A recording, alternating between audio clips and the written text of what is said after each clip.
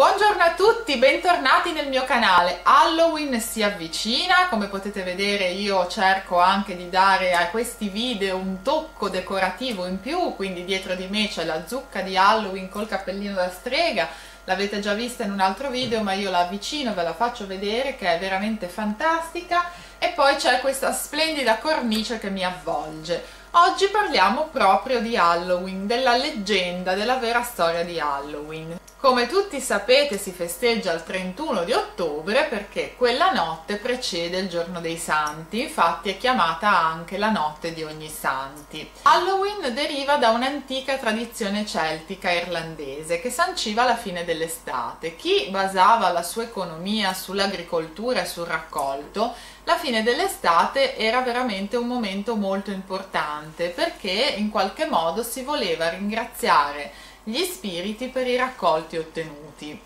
Infatti i colori di questa festa sono l'arancio e il nero, perché l'arancio simboleggia la mietitura e il nero la fine dell'estate, perché va a richiamare in qualche modo il buio dell'inverno.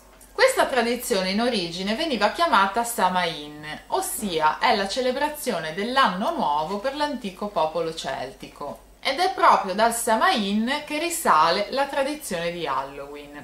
Infatti il 31 di ottobre era considerato dai Celti un momento molto potente e magico perché si pensava che le barriere che dividono il mondo dei vivi dal mondo dei morti potessero cadere e assottigliarsi molto quindi la credenza era quella che in quella notte il mondo dei morti in qualche modo si sarebbe risvegliato, sarebbe tornato sulla terra per possedere i corpi dei vivi.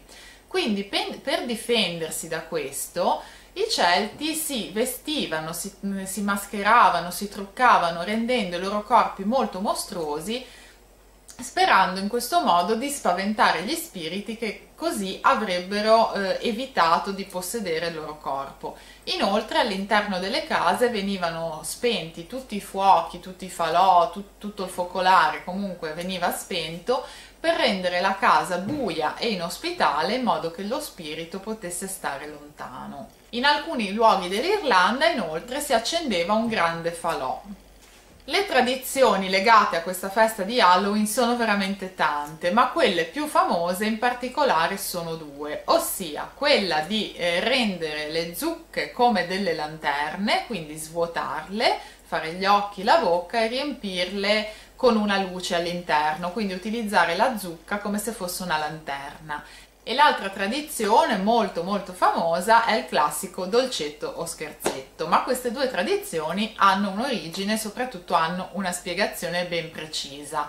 Il fatto di trasformare le zucche in lanterne deriva dall'antica leggenda di Jack. Jack era un irlandese, un fabbro, che era veramente molto molto avaro e soprattutto un gran bevitore di alcol. La leggenda dice che un giorno all'interno di un bar Jack incontrò il diavolo che voleva impossessarsi della sua anima. Jack propose al diavolo però un'ultima bevuta, quindi gli chiese di trasformarsi in una moneta in modo che lui potesse utilizzarla per acquistare l'ultimo bicchiere di alcol. Quindi il diavolo si trasformò in una moneta e Jack la ripose all'interno del suo portafoglio con dentro una croce d'argento. Essendoci la croce, il diavolo non poté tornare indietro e trasformarsi di nuovo in quello che era, quindi era prigioniero. Allora propose a Jack di lasciarlo libero in cambio del fatto che lui non avrebbe preso la sua anima per i prossimi dieci anni. E così fu. Poi allo scadere del decimo anno il diavolo puntualissimo si ripresentò perché voleva l'anima di Jack e lui gli disse però concedimi un ultimo desiderio, sali su questo albero e raccogli per me una mela. Quindi il diavolo salì sull'albero per raccogliere la mela e non poté più scendere rimanendo intrappolato perché Jack aveva disegnato sul tronco dell'albero una grossa croce, quindi ancora una volta lo aveva ingannato. Allora il diavolo per riavere la libertà propose a Jack un patto, disse tu mi lasci libero, mi fai scendere dall'albero e io ti prometto che mai, mai e poi mai prenderò la tua anima. E così effettivamente fu. Quando però Jack morì, non fu accolto in paradiso perché era un peccatore, perché aveva commesso troppi peccati e quindi il paradiso in qualche modo non lo voleva e lo respinse. Il problema fu che anche il diavolo aveva promesso a Jack che non avrebbe mai preso la sua anima, quindi fu respinto anche dall'inferno e quindi fu condannato a vagare sulla terra senza meta alla ricerca di un luogo in cui rifugiarsi. L'unica cosa che riuscì ad ottenere dal diavolo fu un tizzone ardente che gli sarebbe servito per illuminarsi la strada.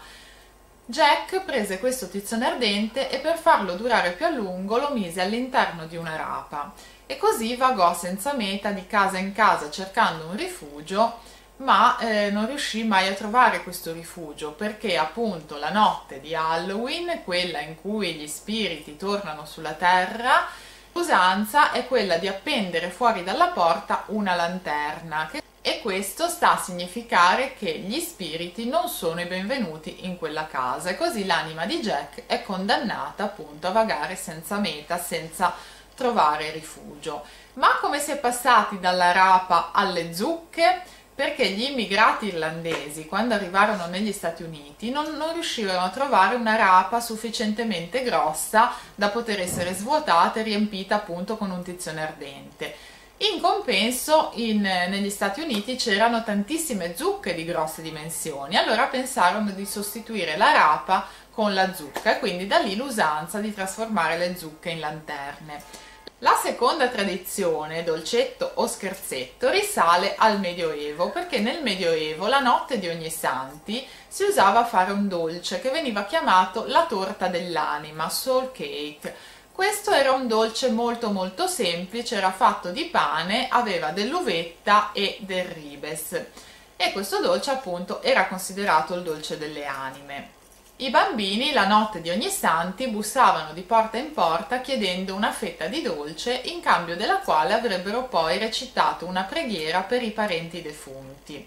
Ovviamente da qui il passaggio da questo a dolcetto scherzetto è stato molto breve perché comunque Halloween nel tempo ha sempre di più abbandonato i, i suoi significati religiosi, i suoi simboli religiosi per dare spazio un po' più al consumismo, un po' più al divertimento e quindi si è passati appunto a dolcetto o scherzetto. Quindi oggi ci, ci si continua a mascherare, si va di casa in casa a chiedere caramelle dolci e se i vicini di casa non sono abbastanza forniti il rischio è quello appunto di ricevere uno scherzo. Questa è la storia di Halloween, le due tradizioni più famose. Io vi invito come sempre a mettere un like al video se vi è piaciuto, ad iscrivervi se non l'avete ancora fatto. Fatemi sapere nei commenti come festeggerete Halloween, se vi piace la festa di Halloween, se fate dei preparativi, magari se conoscete qualche leggenda che, che io non ho nominato, magari potete integrare questo video commentando.